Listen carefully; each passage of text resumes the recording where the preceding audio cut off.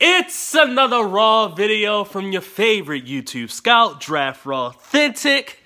Yes, I am finally here, folks, and like I said, it's a Raw video, so there will be no edit. Anyway, like I said in my previous video with my with an interview with my cousin, UVA linebacker Micah Kiser, that the linebacker videos will be coming out this Saturday. Well, guess what? It's Saturday.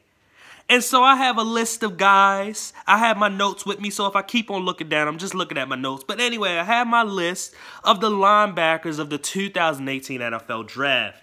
Now, this is going to be split into two different videos, one for the inside and one for the outside.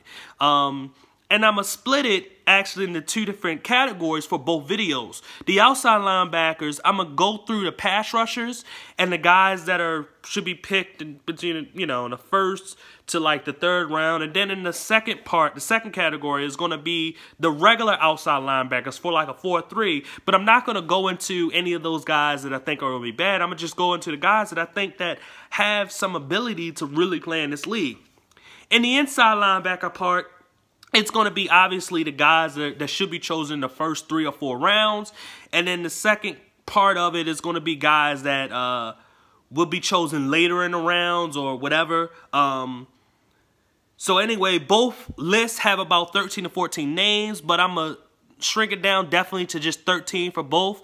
One linebacker that I'm not going to go too deep into is my cousin Micah Kiser. I had the interview with him. I can just say this. Um, Micah Kiser, instinctive, good linebacker, can tackle, can tackle and do a lot of different things. The things that he needed to work on from last year was his cover skills, which he actually got better at this year. So that's a positive for him. The only other thing that that may hinder him will be his sideline to sideline speed.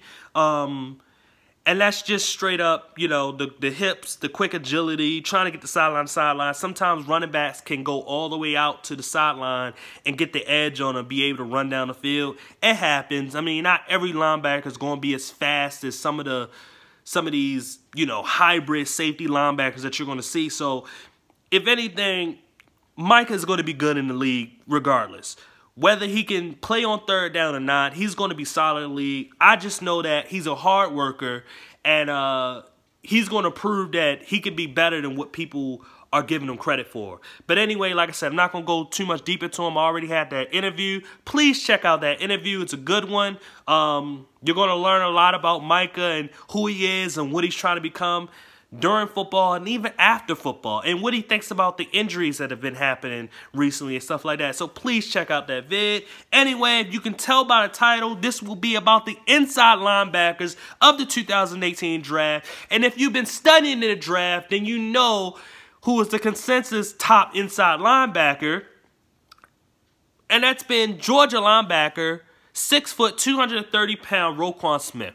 Roquan is a guy that I actually do like a lot. He's a leader. He plays aggressive. He's fast. He's a guy that pretty much kind of have a lot of the skill sets that you look for the recent, the more recent linebackers now. He can drop back in coverage. He can do a lot of good and different things. The one thing that will stop him is his size um, and taking on blocks. But in how the NFL is now, it's one of those things that's not as important. But it's one of those things I have to look at because if you are a guy that I see your name in the top 10, I have to look closely. I think that he is still deserving of a top 10 pick. Even if he doesn't go top 10, he definitely should go top 15. He's deserving of that because of the natural leadership ability and the tackling and the speed. He's just pretty much kind of got all of those type of things that you really look for.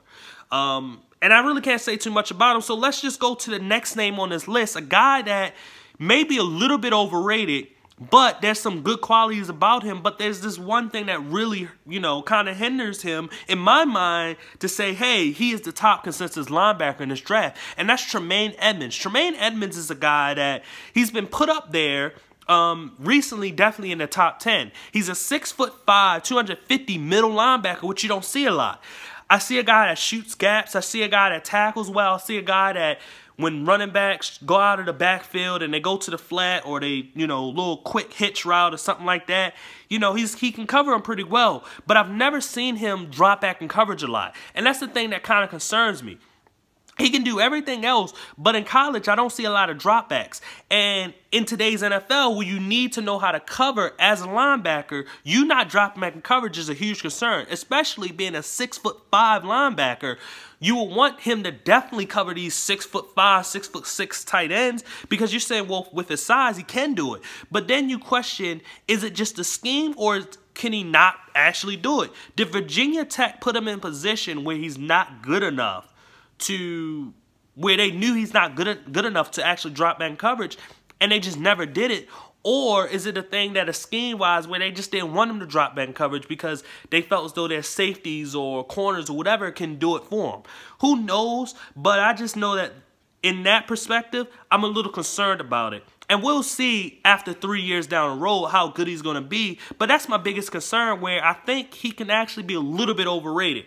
But I'm not going to make a separate video like that. I'm going to just put it out there. He's the one linebacker on this list where I'm just like, I'm not sure because of what I'm looking at for him being a top 10 guy.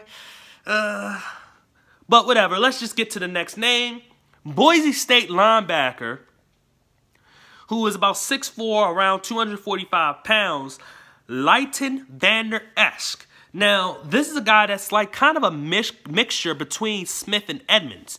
Um, he's a guy that has speed. He can cover well. He can tackle well. He can block, you know, shed blocks and stuff like that. The thing about uh, Vander Esch is that sometimes he may be a little too aggressive and can over pursue sometimes, and that's going to really hinder him as a linebacker. But just by just pure what he is, he actually may be the best linebacker in this draft class. And I've seen him going as high as the Packers at number 14. So if the media thinks he's a top 15 pick, I actually I looked at him. I think yeah, he is a top 15 type of pick for a linebacker and what he can do with the size, the speed, and the tackling ability and all that. Sometimes he does mix some tackles, so you know, that's going to hurt him a little bit. And level competition may be another thing that will hurt him just a little bit. But when you're what you're looking for in the NFL, this guy has it.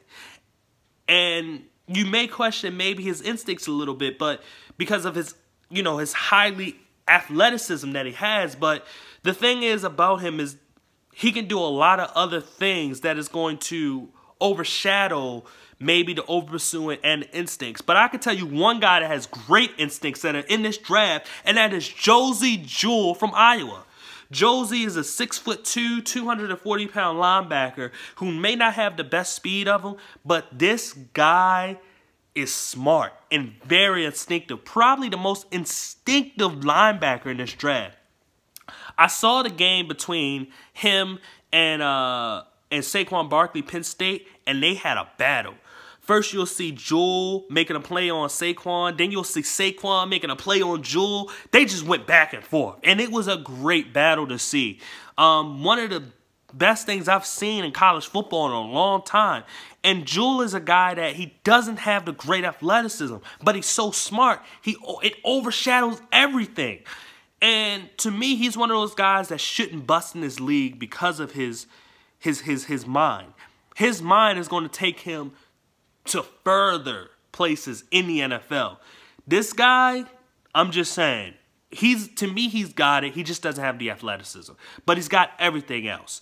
Now, get into another linebacker who I'm a little up and down on because in this type of group of linebackers, in terms of you know recent picks that have came out, none of them have been like great. They've all been okay. You have one that's actually pretty good, but the rest have been kind of up and down, and it's kind of a a team that's very highly up there, but sometimes you always question, you know, some of their players. And that's Alabama linebacker Rashaan Edmond. Ed Evans, I'm sorry, Rashad Evans, six foot two, 230 pounds, I believe, or six foot one, 232 pounds, or something around that range um, with him is he's he's got the athleticism. He can tackle, he can drop man cover, he can do a lot of different things, but sometimes it's hard to rate these guys because they have so many other players on that team that are pretty good.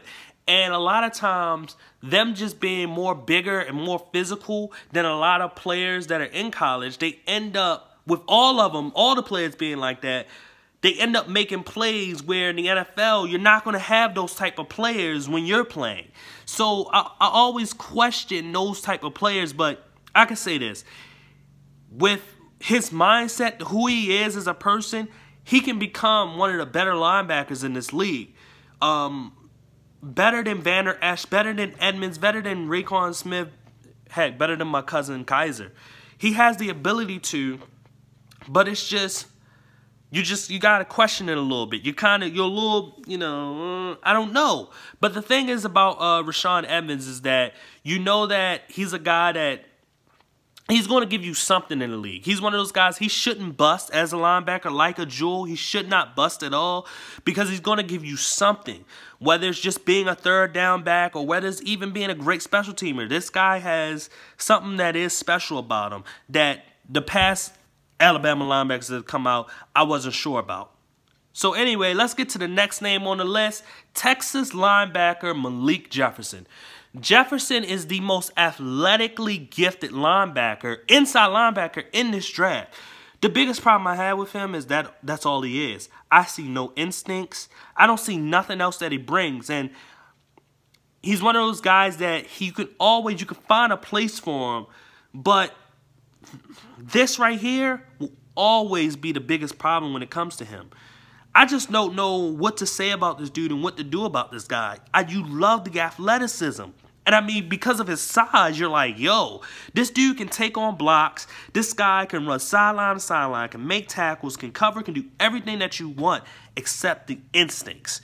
And that's what you're going to question so much. And I don't know what else to say about this guy. I, I'm going to just say this.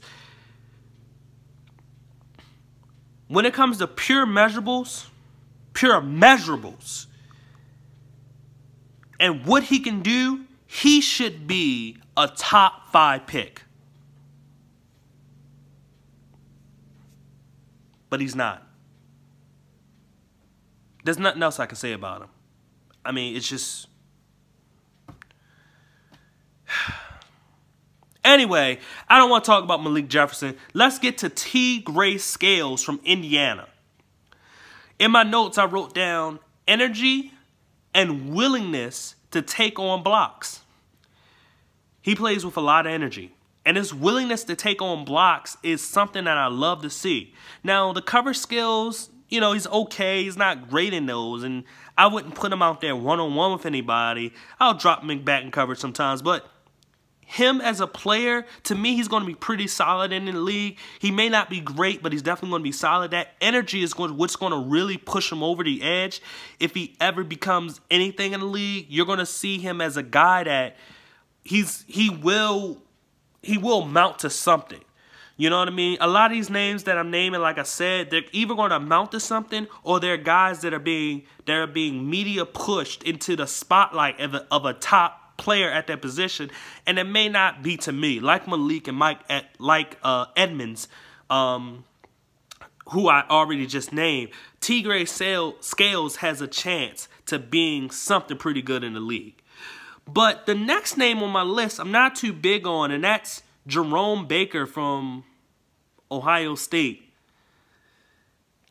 I just don't see it. He just seems like an athletic dude that's out there that does nothing.